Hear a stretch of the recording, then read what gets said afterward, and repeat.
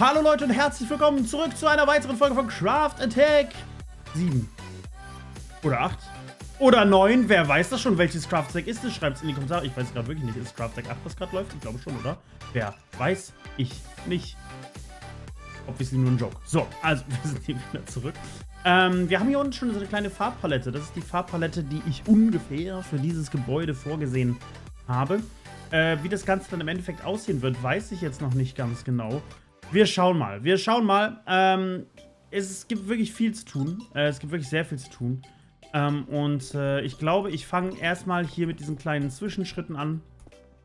So, äh, dass ich hier die Teile 3 hoch mache.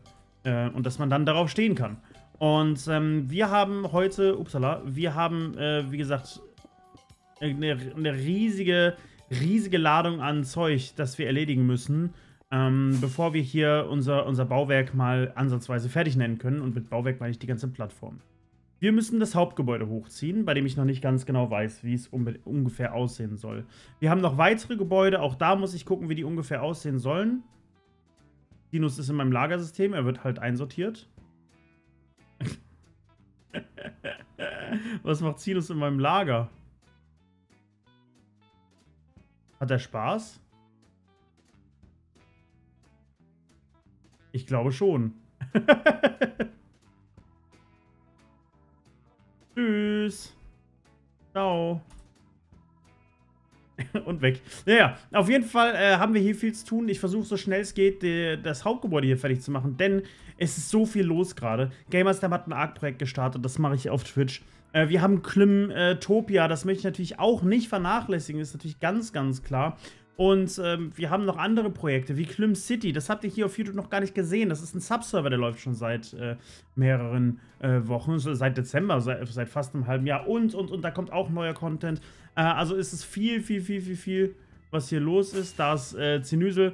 Ähm, und ich werde jetzt erstmal hingehen und hier die Seitenteile bauen und euch dann gleich mal zeigen. Alter, Engine Debris. Und euch gleich dann zeigen, er will vielleicht einen Screen, guck hier. Ähm, und euch gleich und euch gleich dann zeigen, was wir äh, hier schon gemacht haben und mit welchem Teil wir anfangen. Weil im Prinzip haben wir hier so ein Riesending mit vielen kleinen Einzelteilen. Also, let's go.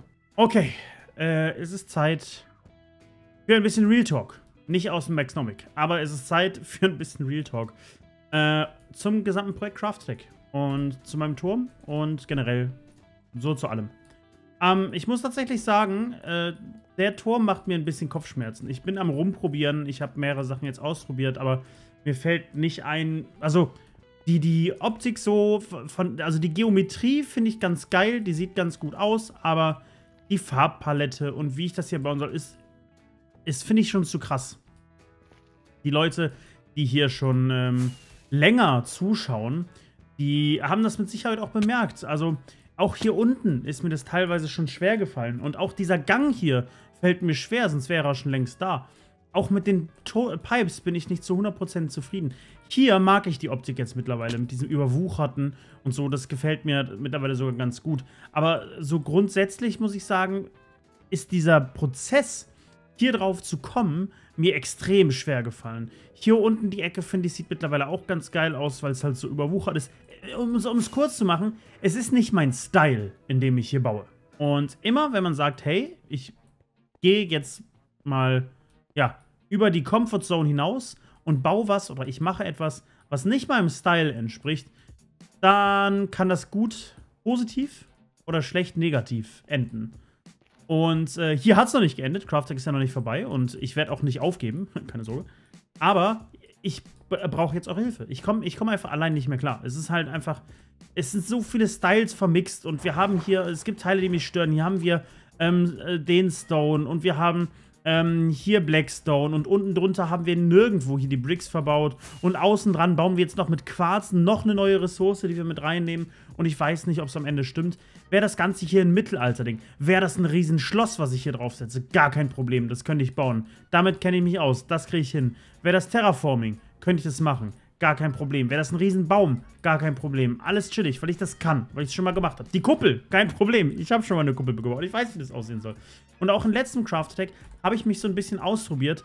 Aber ich hatte einmal die Kuppel und einmal hatte ich viel mit Sandstein. Und mit Sandstein fallen mir super viele Sachen ein, wie man da bauen kann. Sandstein, Wasser und ein bisschen Grün, das ist schon an sich eine geile Kombination. Sand ist generell ein geiler Baublock. Aber Syren Terrakotta, ja, ja, und gelber Terrakotta. Und was passt dann noch dazu? Es, ich finde es sehr schwierig. Lange Rede, kurzer Sinn. Ich finde es extrem, extrem, extrem schwierig. Und ich bin mittlerweile sogar an dem Punkt, dass ich sage, ich weiß nicht, wie ich das Haupthaus hier bauen soll. Und das ist mein großes Problem. Und ähm, auch, dass Crafttech jetzt noch circa, weiß nicht, fünf Monate geht und dann ist schon zu Ende. Aber es sind so viele geile neue andere Projekte. Klimtopia leidet extrem darunter. Klim City, wir hatten darüber gesprochen. Und deswegen ähm, mache ich jetzt einfach folgendes. Das habe ich schon mal gemacht. Äh, Im letzten Crafttech, ich habe es auch im vorletzten Crafttech schon gemacht. In diesem Crafttech mache ich das Ganze. Crafttech 5 habe ich auch gemacht. Und in dem Crafttech mache ich das Ganze in einem bisschen größeren Scale. Wir machen daraus jetzt ein kleines Community-Projekt. Ihr könnt jetzt hingehen und euch eine Welt downloaden, die ihr äh, in der Videobeschreibung findet, wenn ich es nicht vergessen habe. Hallo, moin moin. Ähm, und da gehen wir gleich noch hin, die den Grundplatz, den wir für diesen Tower haben, markiert hat. Und ihr könnt da drin einen Tower bauen. Ich habe in der Welt auch eine ungefähre Höhe vorgegeben. Ähm, das werdet ihr dann alles sehen. Ähm, ihr müsst euch nicht an dem Tower orientieren, den ich hier habe. Wenn doch, ihr könnt den auch gerne nachbauen. Also, äh, ihr könnt hier aus dem Video, wenn ihr von oben guckt, hier, hier, hier, hier, hier, hier haben wir die Türme. Ein Block ist ein Block. Also, ihr könnt es schon sehen, ähm, wie das hier ungefähr aussieht. Ähm, ich werde nur grob vorgeben, wie hoch die Seitenteile hier sein müssen, damit das Lager Platz hat. Und was anderes werde ich aber nicht vorgeben. Also eine Haupthöhe, ihr werdet es ja sehen, wenn ihr die Welt runterladet. Wir können auch gleich mal kurz drauf switchen. Aber so ganz, ganz, ganz grob ähm, könnte man auf jeden Fall sagen, dass äh, ich ein bisschen überfordert bin mit der ganzen Sache. Wir switchen jetzt gleich mal ganz kurz in die Welt rüber und danach sage ich euch, was wir denn in der Folge hier machen. Denn ich möchte natürlich trotzdem nicht unter dich rumstehen. In der heutigen Folge bauen wir natürlich auch weiter. Aber da brauche ich eure Hilfe. Ja, ich bin äh, wirklich verzweifelt. Ich brauche eure Hilfe. So. Ähm, das hier ist jetzt der grobe Plan von dem Gebäude. So. Ähm, das Goldene symbolisiert einen zusammenhängenden Teil von meiner Base, theoretisch. Also stellt euch vor, dass die alle so miteinander verbunden sind einmal. Ähm, die sind exakt so hoch wie mein Lager. Das heißt, das Gebäude, was hier gebaut wird, muss mindestens... Ja, also hier kann kein Block sein. Hier kann kein Block sein, den Block kann ich auch nicht hier hinsetzen, den Block kann ich auch nicht hier hinsetzen. Geht alles nicht, weil das hier alles schon voll mit Lager ist. Hier kann ich einen Block hinsetzen. Hier, aber hier nicht, weil hier ist mein Beacon in der richtigen Welt. Ne? Also ich glaube, ihr versteht, was ich meine. Das Rote ist, die, ist der Umriss von dem Gebäude, wie es auch bei mir auf dem Server, beziehungsweise in Crafttech auf dem Server der Fall ist. Äh, hier hätten wir halt noch hier diese Schräge, ne? Ihr wisst, was ich meine. Hier wäre eigentlich noch die Schräge da. Äh, und das Goldene repräsentiert quasi die Höhe des Lagers. Aber äh, alles andere, let's go. Ich baue jetzt gleich noch hier die Höhe ein, äh, damit man ungefähr weiß, wie hoch das Ganze werden kann. Aber das könnt ihr euch jetzt runterladen und wenn ihr mir helfen wollt beim Hauptgebäude, dann könnt ihr das da ganz gerne tun. Aber jetzt geht's weiter und zwar hier. Und zwar bauen wir jetzt was, was ich hier. Ich wollte hier nicht drüber gucken, ich wollte eigentlich hier lang fliegen. Bauen wir jetzt was, bei dem ich jetzt nicht so einen Struggle habe wie mein Gebäude. Und zwar was, was ich schon kenne, was ich schon mal gemacht habe. Und zwar, wir bauen eine Kuppel. Ja, heute fangen wir mit der Kuppel an. Und damit alles klappt, ähm, habe ich folgendes vor. Ich gehe auf äh, ungefähr der Höhe hier und ähm, baue einen Ring, der aus. Äh, ja, gelbem Terrakotta und Gras besteht, dann, ähm, wobei hier, das könnte actually auch gelbes Terrakotta sein, weil da drüber kommt eh Glas. Ich äh, hinterfrage gerade Life-Choice. Ich glaube, wir machen hier tatsächlich... Boah, machen wir da gelben Terrakotta hin? Wir, da könnte man halt wirklich auch gut Syren-Terrakotta unterbringen. Ich glaube, wir machen da actually Syren-Terrakotta hin oder sogar Seelaternen. Es würde, glaube ich, alles geil aussehen. Das ist gerade das Problem. Ich glaube, ich habe aber nicht genug Seelaternen. Nope.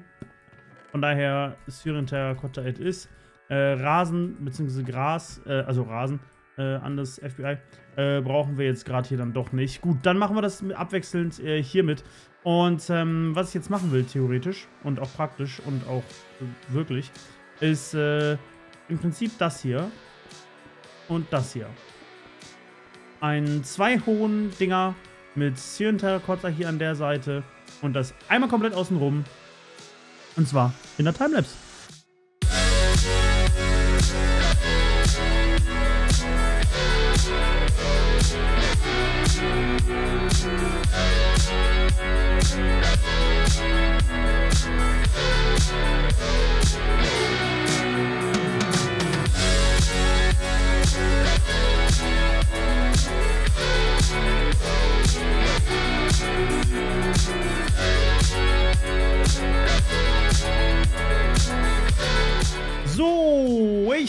Euch hat die Timelapse gefallen. Wir haben noch ein bisschen mehr gemacht als ursprünglich geplant. Ich habe sogar schon den Boden da reingezogen. Jetzt haben wir hier nicht nur eine Kuppel, also die Kuppel fehlt noch, aber wir haben hier äh, schon eine sehr nice Fläche Gras und also Rasen, ne? Und äh, jetzt können wir hingehen und den äh, restlichen Rasen, den ich gerade noch gefarmt habe, mal hier reintun und dann ein bisschen Blackstone nehmen, denn die Kuppel fliegt aktuell noch in der Luft und das ist ja Quatsch. Also, also das ist ja Quatsch. So, was wir jetzt machen, ist, wir gehen nämlich hin und bauen hier erstmal so Stelzen ab und zu hin. Ich weiß ja nicht genau, in welchem Abstand. Ähm, ich glaube, wir können das so machen, dann mit einem mit einem Dreierabstand vielleicht. Dann haben wir hier einen Dreier und können hier wieder einen Abstand machen, maybe, so. Das sieht irgendwie seltsam aus. Ich wollte ursprünglich hier so, so Kreuzverstrebungen auch noch einbauen. Ich weiß nicht genau, wie ich das machen soll hier, um ehrlich zu sein. Ja, man, man könnte das halt irgendwie so in der Richtung machen, dass man sagt, man hat hier dann sowas. Ja. Sowas in der Richtung. Ja doch, das sieht doch, das sieht doch eigentlich gar nicht so schlecht aus, so als Kreuzverschrebung. Und man muss ja, man muss ja bedenken, dass äh, ich das hier eigentlich jetzt mal schon mal komplett wegreißen kann. Ja, das kann komplett weg. Ich meine, ich habe es ja oben sowieso nochmal abgebildet. Und dann können wir hier gucken, wie wir das hier machen. Auf jeden Fall äh, soll das dann hier so hochgehen. Ähm, und hier dann... Hier dann wieder hochgehen. Und zwar so in der Art.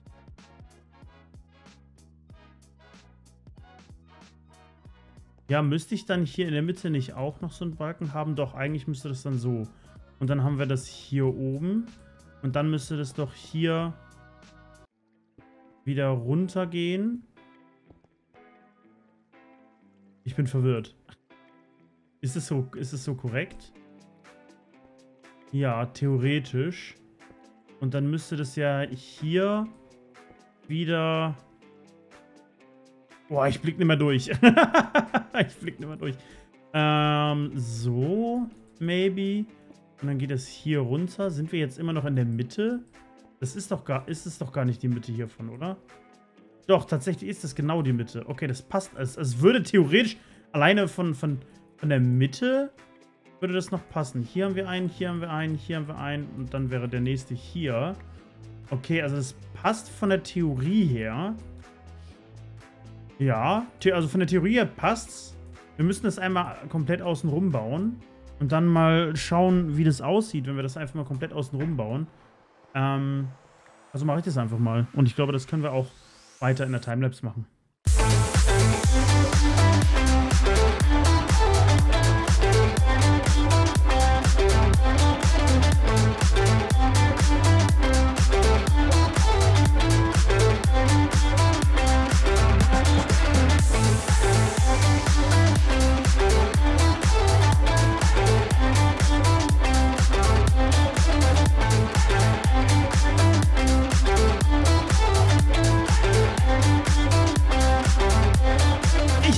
Euch hat die Timelapse gefallen. Ja, wir stehen hier in der äh, noch nicht ganz fertigen Kuppel, offensichtlich. Aber der Boden ist fertig. Wir haben jetzt hier am äh, Boden einen kompletten Sockel rund um äh, die Kuppel. Hier kommt natürlich noch Deko hin, hier kommt ein Zaun hin, hier kommen Pflanzen und so hin. Ihr wisst, alles so ein bisschen überwuchert. Aber ich muss tatsächlich sagen, das finde ich sieht sehr, sehr, sehr cool aus, wenn wir das mal hier so angucken und irgendwie von hier aus fliegen. Dann haben wir hier, und stellt euch vor, hier noch der Glasdom. Es wird alles sehr, sehr wild aussehen. So, also, was haben wir jetzt noch zu tun? Wir müssen hier natürlich äh, das ganze Glas noch reinsetzen. Und dafür brauche ich natürlich eine ganze Menge Glas. So, das ist jetzt das Glas, was ich gerade dabei habe. Das war's. Obviously bin ich nicht so weit gekommen. Aber äh, damit können wir weitermachen in der nächsten Folge. Dann können wir ein bisschen Sand farmen, ein bisschen einschmelzen. Ich wollte eigentlich den Schnellofen fertig haben, bevor ich das ganze Glas setze. Ähm, aber obviously bin ich damit jetzt nicht fertig geworden. Vielleicht mache ich nur so ein paar Ebenen hoch. Vielleicht ziehe ich die auch komplett direkt hoch. Ich bin mir da noch gar nicht so ganz hundertprozentig sicher. Ähm, ich mache so, wie ich Bock habe. Und ja, für euch bleibt nur noch eine Sache zu tun. Ladet in der Videobeschreibung, ist ein äh, Link. Ladet euch gerne die Welt für das Haupthaus runter und helft mir dabei. Baut gerne was Geiles, baut gerne was Cooles. Ich bin sehr gespannt. Ähm, ladet mir das irgendwie als äh, entweder auf Video, äh, als, auf, als Video auf YouTube wieder hoch oder schickt mir entsprechend die Minecraft-Welt rüber. Äh, das, könnt ihr ganze, das Ganze könnt ihr auf meinem Discord machen, äh, discord.gg slash klüm, da kommt ihr dann drauf, da gibt es extra einen Channel dafür. Ähm, ja, aber das war's dann erstmal. Und ähm, der Channel heißt Ideen für Klüm. Mhm. Und das war's aber jetzt erstmal. Wenn es euch gefallen hat, lasst gerne einen Daumen nach oben da. Und ich würde sagen, wir sehen uns in der nächsten Folge von Craftstack wieder. Bis dahin, habt einen schönen Tag und ciao.